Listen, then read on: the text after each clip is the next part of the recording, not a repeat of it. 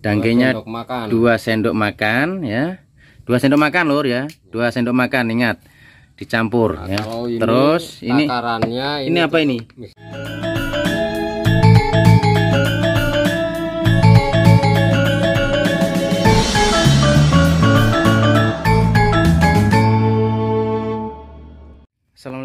Wabarakatuh sahabat itu semuanya ya di mana pun kalian berada mudah-mudahan kita semua dalam keadaan sehat walafiat.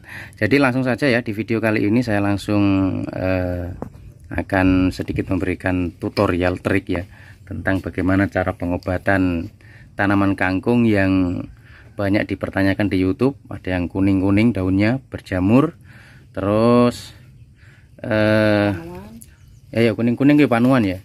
Jadi yang pengen tahu obatnya bisa simak ya di video kali ini. Nah ini langsung saya bersama dengan Mang Dadang petaninya. Nah ini. Jadi resepnya ini. Tapi saya juga belum belum paham ya. Sebenarnya sudah ada di video-video saya yang lainnya tapi mungkin terlalu kejauhan nyarinya jadi eh, teman-teman tidak tidak nemukan ya. Nah Mang terus bagaimana Mang? Ini banyak yang tanya ini Mang. Banyak yang tanya bagaimana cara mengatasi daun kuning ya daun kuning pada kangkung Nah, ini pengaplikasiannya ini seperti apa, Mas? Pertama mana yang yang yang paling wajib yang mana kalau daun daunnya kuning? paling wajib itu puradan air puradan di sana Oh ngono. ya Kok tetap puradan tuh, Mas? itu puradan Iki ya puradan hmm. Jadi versi ini versinya Pak Pak Dadang ya. ya Versinya Mang Itu Dadang kalau, ini. kalau mau sampai tiga empat hari itu Mm-mm. mau dilihat hasilnya kasih bersamaan dangke Mm, mm, mm, mm. Jadi ini teman-teman ini ini ini. dangke Ini bukan bukan di endorse ya, tapi sekedar berbagi ilmu buat, para petani. Ini kalau ada ulat ya, nah, karena ini saya lihat gambarnya ulat. Jadi di disemprot secara bersamaan saja. Jadi ini terus pakai antrakol satu gelas satu gelas, nah, satu gelas di cangkir iki. Satu gelas itu untuk satu tangki. ya Satu gelas satu gelas. cangkir ya cangkir ya. Jadi kita ini petani di sini dosisnya eh tidak bisa pakai gram-gram begitu lur ya. Pakai gelas lah. Simple kalau orang petani sini. Kalau tutorial-tutorial yang lainnya mungkin kita mempercepat penyakit. mungkin jelas ya. ini ini gelasnya ini yang sering dipakai emang dadang ini ini. Antrakolnya dikasih satu gelas ya. Satu gelas terus dicampuri dangkai. Dangkainya berapa mang dua sendok. Dangkainya sendok makan. dua sendok makan ya. Dua sendok makan lur ya. Dua sendok makan ingat. Dicampur Nah, ya. ini terus ini takarannya ini apa ini? Mister Top. Ah, Mister Top. Nah takarannya ini. Ya tutup ini ya? Iya. ini tutup yang yang kecil. yang kecil. Yang kecil satu tangki. Jadi satu tangki dikasih satu tutup ini. Yang kecil ini enggak tahu berapa anu isinya ini pokoknya tutup yang kecil ya ada ada mis, ah, Mister Top yang kecil ini tutupnya pakai takaran satu tangki dikasih satu tutup terus Nah, ini Supermax takarannya juga tutup yang kecil Ini takarannya juga sama, tutup yang kecil, pakai Supermax tutup yang kecil. Jadi ini memang fungsinya beda-beda ya teman-teman ya. Tapi kalau di kebun sini punya Pak Sugeng ini diaplikasikan secara bersama-sama. Jadi sekali jalan Eh, bisa langsung untuk ulat ya, terus daun kuning, terus juga ya antrakol untuk kesuburan daun bang ya. ya Nah, terus terus untuk mempertebal daun jadi kalau kalau ndak pakai ini bisa dicoba kalau ndak pakai ini seperti angin keras kemarin hancur daunnya hmm, begitu. macam kayak bayam itu hancur, langsung hancur robek Nah, terus itu apa?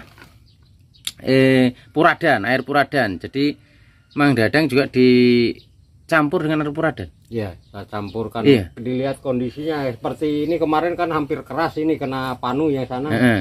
tapi alhamdulillah sekarang hasilnya bisa kita lihat sendiri Jadi kalau mengering di bawah kuning bisa dicampurkan puradan ya. ya Purad, puradannya kemarin sudah dijelaskan juga 4 kilo Mang ya. ya 4 kilo itu direndam di air 30 liter. ya Ya teman.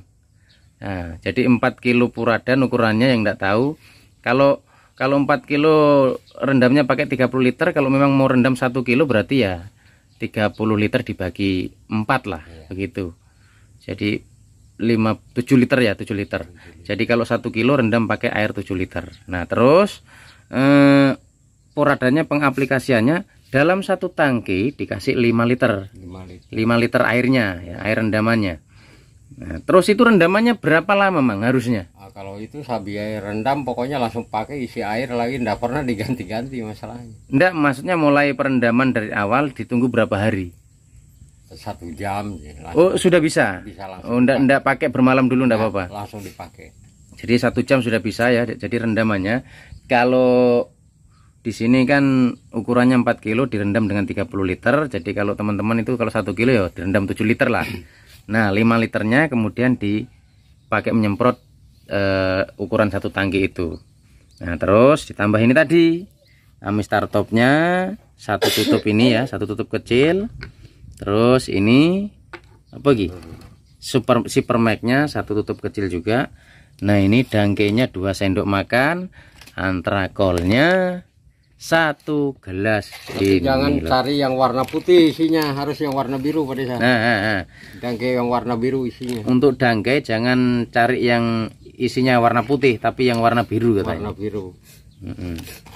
Tuh. kalau dangke kan sekarang macam dua warna putih dengan warna biru Jadi itu sudah untuk semua masalah Mang sudah semuanya Semua masalah di tanaman Iya, kangkung di tanaman sayur sudah semuanya kena Hmm, begitu. Pokoknya biar eh, daunnya habis, daunnya lobang, daunnya kuning sudah ini tadi rumusnya. sudah, sudah ini Hmm, gitu. Saya kira kalau kuning cuman dipakaikan Mister Top saja. karena kalau saya tenaga hanya satu orang saya pakai satu kali Oh, saja begitu. ya. supaya mempercepat sayur Jadi fungsinya double ya, kuningnya juga hilang, sayurnya juga subur, teman-teman. Nah, terus ah pengaplikasiannya. Nyemprotnya. Nah, kalau kan bisa jadi kalau pas kuning baru dilakukan penyemprotan. ya Tapi kalau untuk perawatan, seandainya ini kangkungnya ndak kuning-kuning, ya hanya ini menye- penyemprotannya kapan? Berapa hari setelah tanam?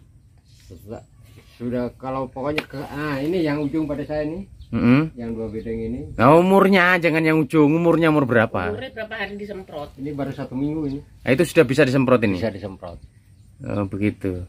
pokoknya sate kalau banyak panu begini satu minggu harus disemprot Kalau sudah musim panuan, iya jadi satu minggu setelah tanam harus disemprot. harus disemprot Mm-mm, mm-mm. Jadi jangan nunggu panuan dulu ya lur ya. Pokoknya untuk menghindari itu setelah tanam satu minggu langsung bisa disemprot. Jadi supaya tidak eh, terlambat ya nanti kalau nunggu panuan ya bisa terlambat. Jadi itu tadi ya lur ya penjelasannya sudah saya kira cukup lengkap. Nanti ini video ini saya khususkan untuk tutorial trik anu ini apa penanganan daun kuning pada kangkung. Tapi sebenarnya fungsinya banyak. Untuk daun kuning ya untuk menyuburkan, terus untuk ulat sudah lengkap di sini tadi semuanya. Iya. Hanya di sini eh, aplikasinya disamakan lur bersama-sama ya, tidak di satu-satu begini. Jadi tujuannya banyak langsung. Jadi kalau memang terlalu berat, terlalu mahal obatnya mungkin ya bisa satu saja. Emang ya? Misalnya seandainya cuman kuning saja ya bisa dikasih ya. Mister Top saja. karena memang kalau obat sekarang ya agak lumayan Ya, lumayan. Nah, kalau ini di sini kan sudah 200 hmm, Suara ini itu sudah kan 200 ini 125 ini 130 sekarang memang kalau masalah harga obat ini ini saja 68 harga obat-obatan sekarang ya agak lumayan Oke, teman-teman ya, sampai di sini dulu tutorialnya. Nanti kalau mau tutorial lainnya bisa ditanyakan. Tapi sebenarnya sudah ada di video-video saya yang lainnya ya. Assalamualaikum warahmatullahi wabarakatuh.